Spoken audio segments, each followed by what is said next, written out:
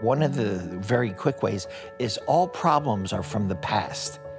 Everything is what in psychiatry they used to call transference. It's like, so when you haven't finished a lesson in your childhood, you will face it in relationships. For example, uh, your adult heartbreaks, your first heartbreaks uh, in relationships come from your childhood heartbreaks that haven't been healed yet.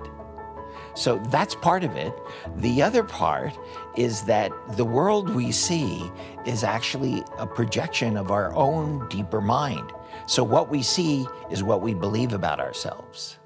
So it's all coming from us. It's coming from the past. It's coming from our ancestors. It's coming from past lives, which is a metaphor for the for the dreams we have about how we're unfolding.